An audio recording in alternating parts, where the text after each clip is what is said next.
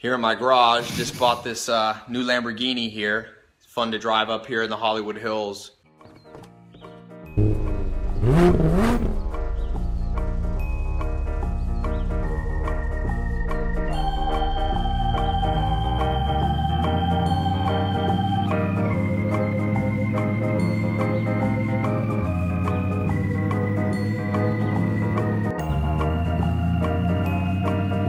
It was at this moment that he knew.